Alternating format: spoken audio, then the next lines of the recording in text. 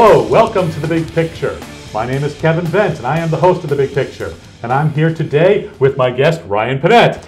Happy to be here, Kevin. Thanks it's for having me great on. to have you here, Ryan. And though, Ryan, this is your first time on The Big Picture, Correct. it is not the first time that we've done sports talk. together. no, we have uh, for a couple of years have done sports talk and That's go right. a little a little ways back We go, on that. we go a little so- ways back on that, but this is the first time together in quite a while on The Big Picture. Yeah, so- I'm happy, happy to be here on the big And picture. it's great to have you. In the big picture, we talk about sports. And we don't talk about the typical day to day sports things that are going on this game or that game. We tend to focus on slightly big picture issues in sports. And we have a couple of great topics for you today. As we've taped the big picture tonight, the Patriots are currently 9 and 0. So I guess I want to start off talking about the Patriots season thus far, kind of taking apart each section of the Patriots. So to start off, I want to talk about the Patriots offense, then we'll talk about the defense, and then we'll talk about special teams. So Ryan, let's start off with offense. What are some of the good things you've seen out of the offense this year? I mean, I think one of the good things that we've seen since 2001 and 2000 is Tom Brady. I mean, Right, You look obviously. at you look at Tom Brady. Uh, just happens having an absolute stellar year. He's completing 67.8 Mm-hmm. percent of his passes, has 24 touchdowns thus far, three interceptions. He looks like he's playing better than ever. He does, He, he does. he gets better with age. He's like a fine wine. It's un, it's unbelievable. Um, the kind of numbers that he's putting up. There's you know, Tom is making things happen. Mm-hmm. And if, if it was, you know, if it was Jimmy, love Right. Jimmy, but I don't know if it would be the same thing. But but Tom, you know, he already has over 3,000 yards in the season. He's averaging 338.1 yards a game.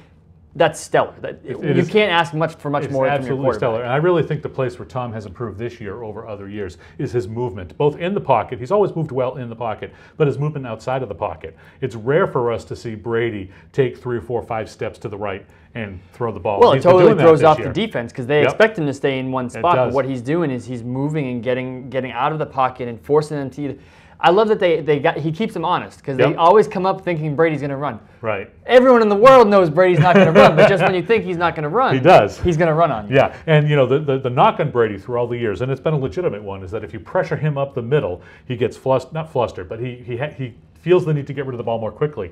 This year, he seems to be moving out of the pocket just a little bit, so that that rush up the middle doesn't seem to bother him all that much. Yeah, and you know, and he's been doing a really good job of keeping his eyes downfield as always, but really spreading the ball around too. Yeah. And you look at people who have been targeted by him. It's yes, Gronk's going to have his, his receptions. Yes, Julian Edelman's going to have his receptions. But really, there's been a lot of people who have been targeted, which for a defense is is maddening to try right, to figure right. out I where mean, he's going to go. With Really, for a defense, you have every every guy who goes out into into you know you have to cover them. You have to cover every single guy who goes up because every single one of them is a potential target for Brady. I think one of his best targets, uh, Julian Edelman, Mm-hmm. Uh, has really, I think, this year kind of put himself out there as one of the elite receivers in the NFL. Yeah, he has. Unfortunately, um, we're not going to see him uh, probably until the playoffs Right. Uh, to be able to come back from the broken foot, which Right. really is, is an enormous loss. When you look at him, he's, he's had 61 receptions so far on 88 targets, so clearly one of Tom's one of Tom's favorite targets. Almost 700 uh, receiving yards, seven touchdowns. Um, but the biggest stat that I have from Julian Edelman, he has been uh, he has been responsible in the target of 37 third down conversions wow. this year. and that's Um, huge. That's absolutely huge. when it comes down to it, when you make a playoff push, that's your biggest thing. You need to convert on third Yep. down, and Julian has been able to make it happen through these first And the Patriots are number one in the league on third down conversion percentage, and, and Julian Edelman is a big piece of that. The uh, broken foot that Edelman has is likely to keep him out six to eight weeks. There's seven weeks left in the regular season.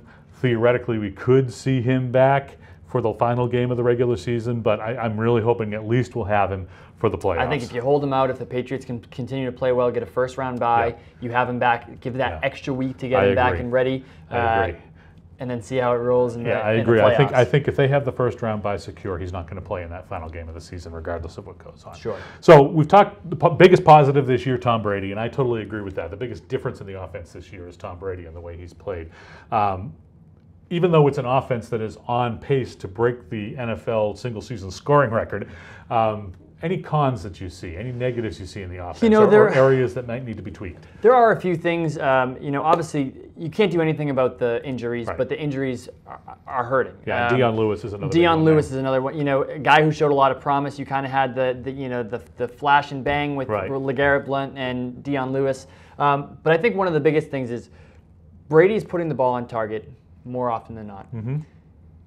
People are not catching it all that often for Tom. Uh, Well, you had look LaFell with the one game with six, Yeah, blo- six right. uh, I mean, six- and six granted, drops. he you know that's coming off of him on injured reserve Right. and whatnot. but you need you're a professional football player. You need to be Right. able to catch the ball. Right. Um, you know, look at last week. Scott Chandler was was ta- targeted against the Giants a bunch of different times and Yeah. dropped the ball. There was the one play where, where Scott Chandler Right in his hands. perfect pass on the hands. Yeah. The very next play, Gronk caught it on his shoestrings and then and you know was able to turn up field. So. Right. There's not a lot of cons because we're Yeah. putting up the Patriots are putting up a whole bunch of points. Yeah, I think the Um, offensive line has performed well despite all the difficulties it has. But you got to think as it gets closer to the playoffs with more difficult teams that the offensive line could also be a problem. Absolutely, and I think there's been some injuries. and There's been a lot of rotation. You've had Stork, who's been in and out, and Mm-hmm. Right. Solder with the injury. Um, that's going to be a big sticking point for the for the Yeah. Patriots. And again, when Tom has time, when you can get Tom Brady to stand flat-footed in the pocket and he can see out the field, Right. He's, he's better. He's better than anyone Right. that has ever been. Right. But once there's the pressure, it's, it adds another element. So that the offensive line needs to. Yeah. They're doing good enough. Right. To be able to get them. through. They are doing as you enough, make a playoff push. And, and one thing that, uh, one small concern I have also, which is related to the offensive line, and that is um, the run game also. Again, with the loss of Dion Lewis, you're primarily counting on LeGarrette Blunt. And I love LeGarrette Blunt, but uh, the offensive line has the tendency against good run defensive teams that they have virtually no running game whatsoever. Right. Um, against a poor uh, running game, running defense, you know, they do fine. And Blunt is able to pull off some of those six, seven, eight yard runs up the middle and all that kind of thing. Blunt is not an outside runner, though. He No. will not go to the outside, and he shouldn't, which means that the run defense can focus on packing the middle on obvious running downs and that kind of thing. And you see that in goal line stuff. So it's just being creative with that and Right. figuring that out, I think, will be important. And you know what? We've got the best best coach in the National Football League Best to be able to in the game- National Football League, Next best offensive coordinator in the National Football League, in Yep. my opinion, is Josh McDaniel. And so there's the next man up, and it'll be interesting. You know, maybe there, maybe James White will step forward and be that guy that Dion Lewis was this year. Who knows? We'll see. but uh, it is a little concerning on that area. But Sure. as I said, it's hard to to uh, to criticize the highest scoring offense in the NFL. but you got to look for something. Right, you got to find something. So we want to move on from the offense and take a look at the defense. Um, the defense this year, going into this season, was something that I was really, really worried about. Sure. Uh, because of the loss of Revis and the loss of Browner and that kind of thing. What's your take on, say, the, the defensive backfield this year thus far? I think the defensive backfield has been doing what they need to do. I think you look at Malcolm Butler coming off of the you know the miracle play in the Super Bowl last year. I think he's really proven himself as a solid uh, defensive back. You look at the games that he's he's been the guy who's been on the number one Right. receivers. This past week against Odell Beckham Jr., there was the one play where Odell Beckham took it for the, Right. but not really. Not I really, mean, not really his Malcolm fault. got beat, Right. but he should have had the help on that as well. Yeah, but you look at the rest. That should have been a, a 15 or 20 look at the fourth quarter performance against. Unbelievable. He was fantastic. So, Unbelievable. Um, where you lose Browner from last year and you lose Revis, that was a, a a sticking point. That was, I don't know what's going to happen. One thing I like about the defensive backfield is the safeties. McCourty, Chung, I think the, one of the best safety combinations in the NFL. Uh, McCourty, a former you know uh, corner who has moved to safety, and Chung, who has kind of had a resurgence coming back to the Patriots from Philadelphia. And I've been very pleased with their play. And and same thing with Malcolm Butler. One of the things that the uh, Belichick uh, defense really requires is that shutdown corner. The whole thing starts with that shutdown Yep. corner. And you saw it with Ty Law, you saw it with Darrelle, Darrelle Revis. You know, when he has that guy, you saw it with Asante Samuel. When he has that guy, the rest of the defense kind of works. Right. Uh, when you doesn't have that guy, the defense struggles. Eh, right, right. It doesn't do doesn't do as well there. Right. But I think what they, what they have of the four guys that are playing back there is a pretty good core. And I think Sure. and a, a bunch of the guys who have subbed in and out too have been Yeah. able to fill the role. Yeah. I mean, it, it, it- you, de- it's definitely not Darrelle Right. Revis and Brandon Browner, but Yeah. these guys are, are showing up and playing. If I had to pick another positive, it's the linebacking core. I never would have imagined we would have got to this point of the year and you never hear Jerod Mayo's name. You never hear. It's like I- the guy disappeared. I'm in a fantasy league where we pick individual Oh, defensive okay. players, and Gerard Mayo has done nothing Done for me. absolutely the- nothing, you know. But uh, Dont'a Hightower has picked it up. and- Fantastic. And, uh, you know, no- the linebacking core has been very, very good. Yeah, and you know, I think Rob Ninkovich has done a great job. Ninkovich is- leadership, just Yep. in the leadership of that linebacking core and the defense as a whole. You know, when he's on the field and he's barking out signals to people, he's got Yep. everything in control. He's Yep. got the beard like Matt Patricia. It's, an extension of Patricia out there on the Yep. out on the field. But Ninkovich really reminds me a little bit of Bruschi. Yeah. Who didn't have the physical skills coming in, but has shown himself to be a leader and just always seems to be there when when something's going on. You Absolutely. know, and, and he's the guy who's tipping the passes, and he's the guy who's putting a little pressure on the quarterback from that outside. And Ninkovich has been spectacular. If I had to pick one con in the defense, and I think the defense has played very, very well. I think it's they're the fifth or sixth best scoring defense in the league uh, this year, so it's hard to complain about that. Uh, but I look at the pass rush. Now, they, the, you know, Chandler Jones is leading the league in sacks, so everyone goes, oh, well, they have a great pass uh, rush defense. The issue that I have is it doesn't seem as though that the pass rush really hurries the quarterback a lot when they're not blitzing. Right. I don't know if you've noticed that. Yeah, and I, I think what it is is is there when there's a blitz and when there's when they're stunting up front, that's when you're getting the guys in there. That's when Yeah. Jamie Collins is able Right, to get in and we didn't even mention Jamie you know, Collins. and that's and that's where Chandler As Jones is able to get in. Yeah. Um, but when you get to a point where uh, uh, the quarterback can go and see the field and really have a good vision of it and doesn't feel pressured, that's where it's going to put the pressure on Malcolm Sure. Butler. It's going to put the pressure on Patrick Chung and the rest of the guys in the Right. defensive backfield because they have to hold on to their guys that much quicker. If Right. you're going to force Right. the quarterback to have a quick release, it makes it easier on the rest of the Sure. field. But we're not doing that all that much. One thing I would say the defensive line has been very good at this year, however, is the run game, stopping the run game. I expected when Vince Wilfork left that there was going to be a little drop off there, but you know, once again. Uh, Vince Wilfork is not having a great season in, in, in Houston. Once again, the Patriots know when to let a guy go. Right. And and you know they they you've seen it time and time again, especially with defensive players, Willie McGinest and Richard Seymour and and and uh, um, uh, Lawyer Milloy and what have you. You know they know when it's time to let the guy go. Bill just knows. That's why He just in Bill we trust. You In know, Bill we it's sad to see a guy like Vince Wilfork Vince go is because my he's a favorite great player. character guy. Yeah. Vince is my favorite player in the Patriots, or was my favorite player in the Patriots, uh, and I was really sad to see him go. But you watch him. I watched the Texans game this past Sunday night. He was a non-factor, an Yeah. absolute non-factor. They have a good running game at, Right. for the Bengals, uh, you know, and, and the Texans defense was very good um, on uh, Sunday night, but Wilfork was barely a part of that. And so I was really concerned about that. But I say that the tech, the uh, Patriots' run defense has been better than we expect. I know we're getting short on time in this half. Uh, we want to talk about special teams.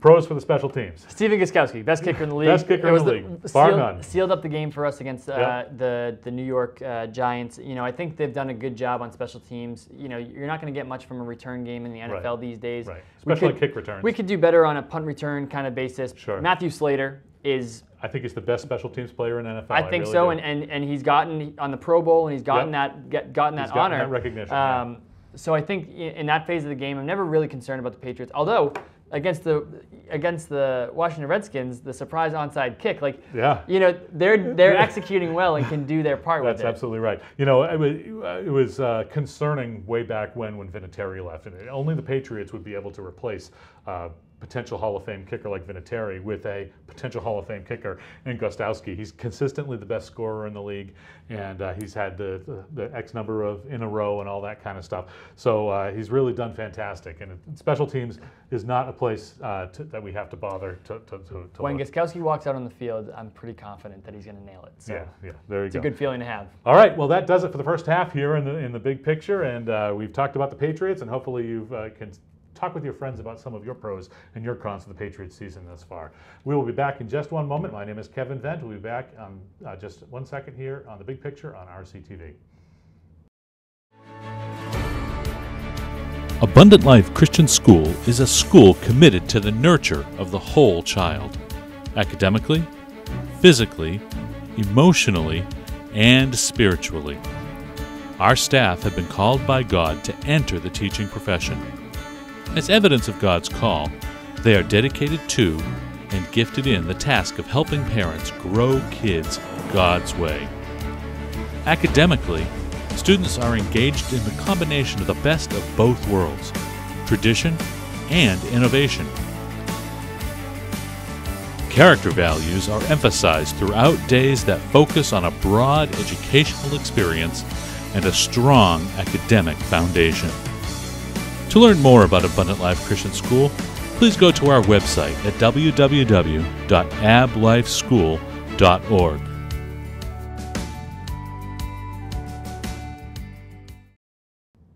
Well, welcome back to the big picture here on RCTV. I continue to be Kevin Vent, your host. This continues to be Ryan Panett, my guest. Hopefully, you enjoyed those uh, few messages from our friends.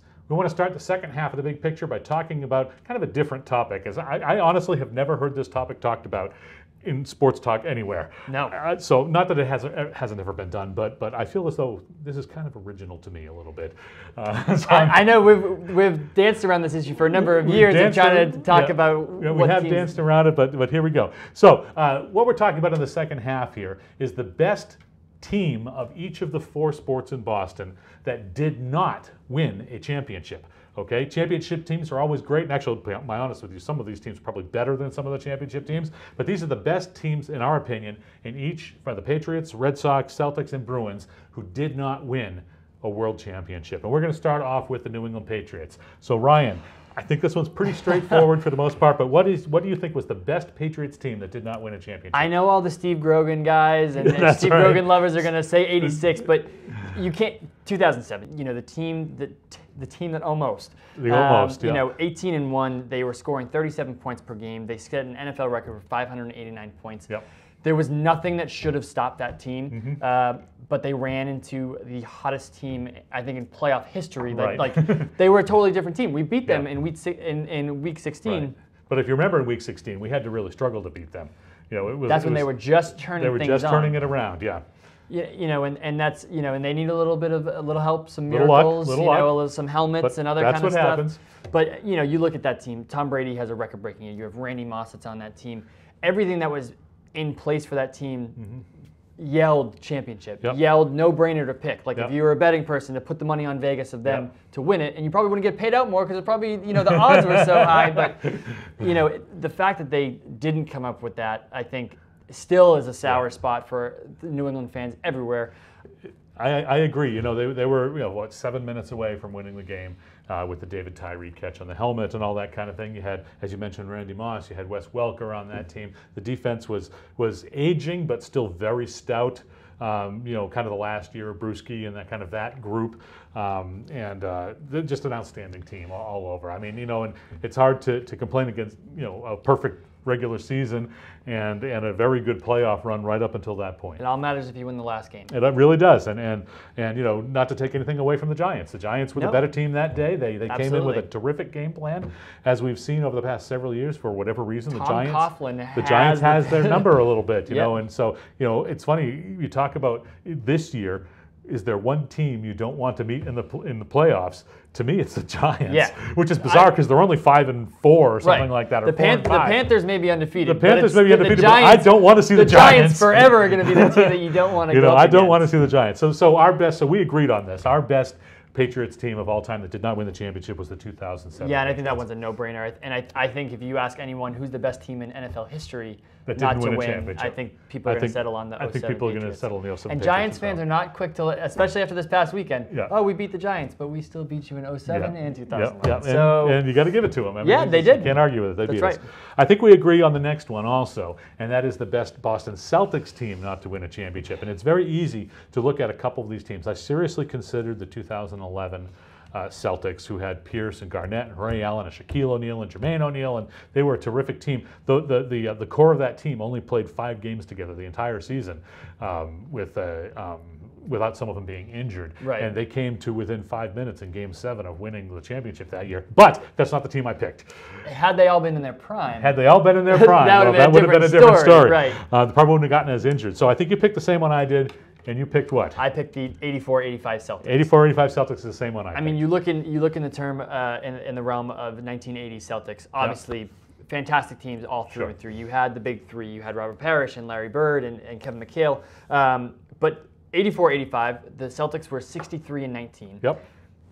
Pretty fantastic record as you look at that. Yep. Um, Larry Bird averaging 28.7 points, 10 and a half rebounds, six and a half assists per game.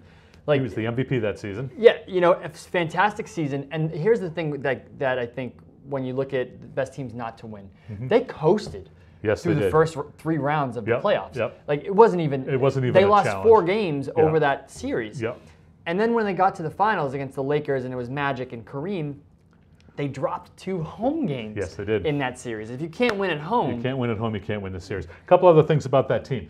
Kevin McHale is a Hall of Famer. He was the sixth man on that team. He didn't even start. Cedric Maxwell was the starter. So that's something that people forget. You had the MVP and the sixth man on that team.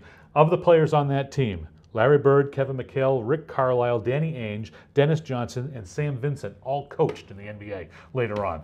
So, so I mean, it was just not. It wasn't just a talented team in terms of physicality on the floor. It was in terms of the brains and game strategy and all that kind of thing. It was one of those teams where they said about K.C. Jones, he could literally roll the balls out on the floor and just let him play. It was an outstanding, outstanding team all around. you know, and, and I've watched the games that they have on that they play on ESPN Classic of those teams. right.